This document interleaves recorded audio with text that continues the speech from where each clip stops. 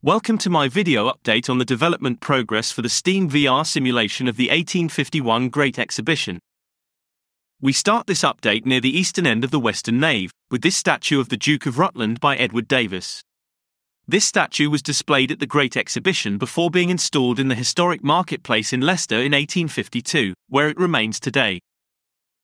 We now travel west along the nave, passing the Fine Art Court, the Broadwood Piano, Dent Clock, Coalbrookdale Dome and Ross Telescope. Turning left, we pass under the stairs and between Fratton's two dogs, and into the agricultural department. Facing east from here, we see four large display stands, as depicted in this watercolor. Three of these stands include quite steep stairs to an upper level. Let's climb up the stairs of the first of these stands, that of Ransomes and May of Ipswich.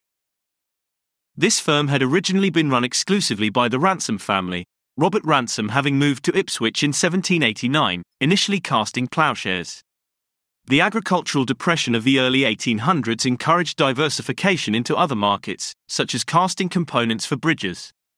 In 1836, Charles May joined the company. His contributions to the expansion of the company resulted in him being the first non family member to be made a partner, although he left the company after the Great Exhibition to pursue other interests. Opposite to the Ransomes and May stand is the stand of Barrett Exall and Andrewes of Reading.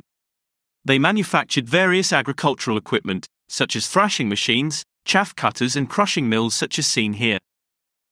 They also manufactured small portable steam engines, similar to the one here, which is a model from the National Museum of Agriculture in Szreniawa. Next, we see the stand of Garrett and Son of Leiston. They manufactured a similar range of agricultural equipment and steam engines. The Garrett stand is shown in this watercolor. Opposite Garrett's stand is that of Edmund Crosskill of Liverpool, who made the most fundamental of machines, the wheel. Wheels, of course, are not limited to agricultural equipment. And if we cross the nave to the carriage department, we find a wall display of Crosskill wheels. Watch out for my next video, which will continue to add to the contents of the exhibition.